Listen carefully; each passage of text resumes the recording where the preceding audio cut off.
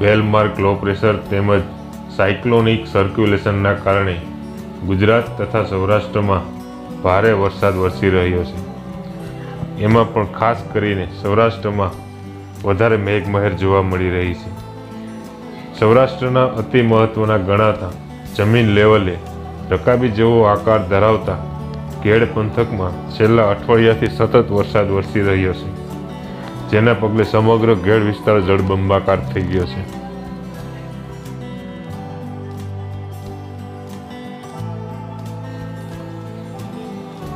ગુજરાત તથા સૌરાષ્ટ્રમાં બે ચાર દિવસના વિરામ બાદ મેઘરાજાએ ફરીવાર તોફાની બેટિંગ કરતા ઘેડ પંથકમાં ભારે વરસાદથી ખેતરો બેટમાં ફેરવાઈ ગયા છે.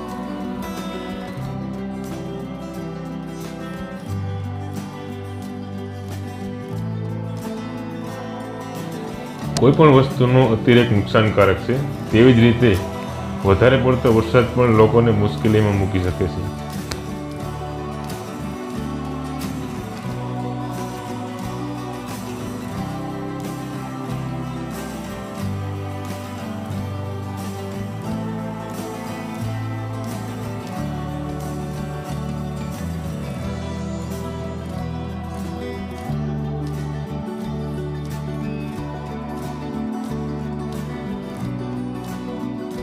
ઘેડ પંથકમાં જળબંબાકારની પરિસ્થિતિના કારણે ખેડૂતોને ખૂબ મુશ્કેલીઓ પડે છે.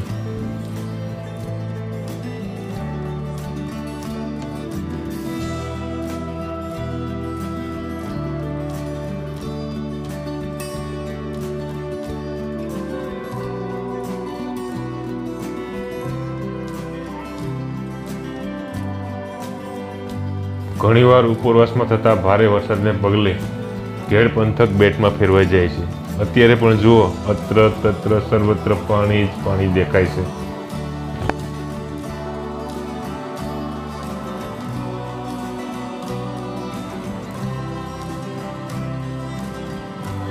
ઘેડ પંથકની શરૂઆત આમ જોઈએ તો ખમીદાણા તથા પંચાળાથી શરૂઆત થાય છે.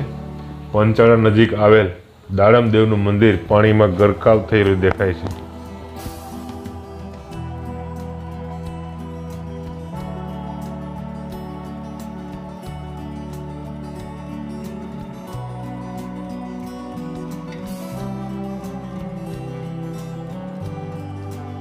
ઘેડ પંથકમાં આવેલી ભાદર ઓજત તેમજ મધુવંતી નદીઓમાં આવતા અવારનવાર પૂરને કારણે ખેતરોના પાક નષ્ટ થઈ ગયા છે.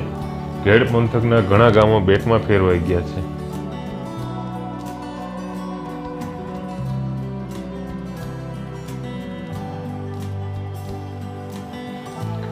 અહીં આ ઘેડ પંથકની શરૂઆતમાં જો આ પાણીની જળબંબાકાર આ સ્થિતિ હોય તો જ્યાં ઘેડનો મધ્ય ભાગ છે, કળશ મંડેર જેવા ગામમાં શું પરિસ્થિતિ હશે, જરા વિચારો.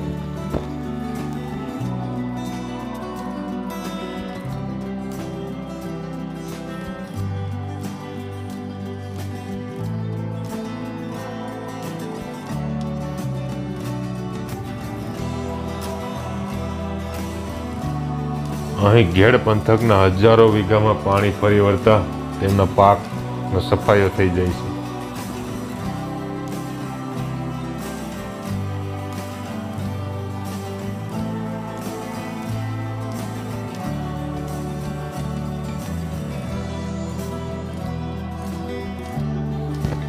ખરેખર ખેડ વિસ્તારના ખમતીદર માનવીઓને આવા સંજોગોમાં જે જીવન જીવવાનો જુસ્સો ટકાવી રાખે છે, તે ખરેખર અદ્ભુત છે.